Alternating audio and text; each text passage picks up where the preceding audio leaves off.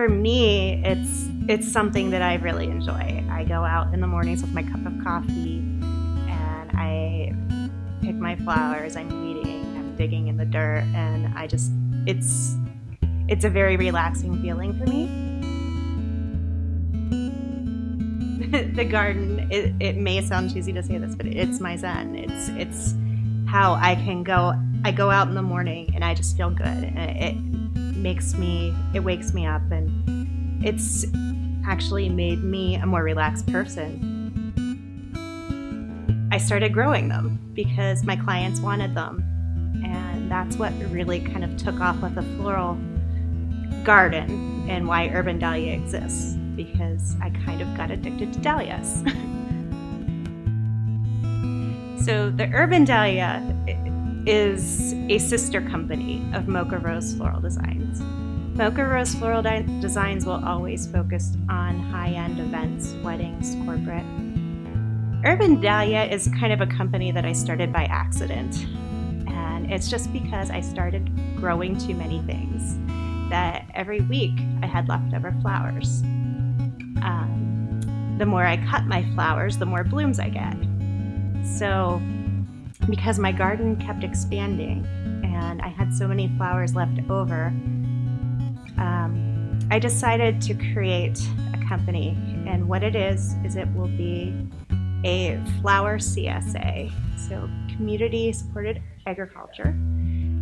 I'm just inspired by the flowers. It's something I really enjoy And to be honest. I enjoy it so much that I'm spending so much of my personal time doing it. I have a business that it meshes well with, with the Mocha Rose. The Dahlia is something that's also changing the way I sell flowers to clients. It's a flower that was so delicate that I tried to talk clients away from because I hated working with it it would always come in bruised. It wouldn't have a good vase life.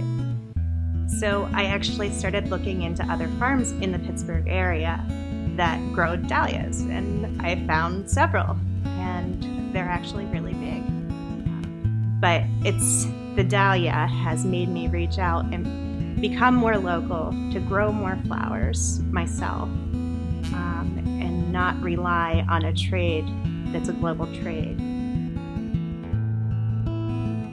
I've never been one to be everybody needs to go green, but I do try to operate my business in an eco-sensitive way. We compost all of our floral and green waste. We recycle everything we can. Um, so I never thought here I'd be saying I am a green company and looking for local um, sources, but here I am doing that because I'm growing it myself.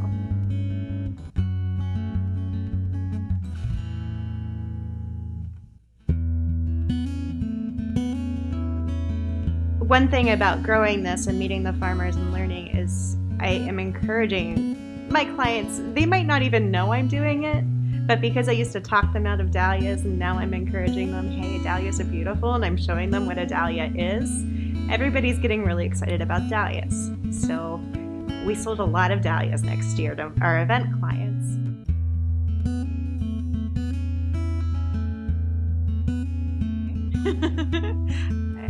Feel weird being put on the spot, but that's great. I'm just awkward. Yeah.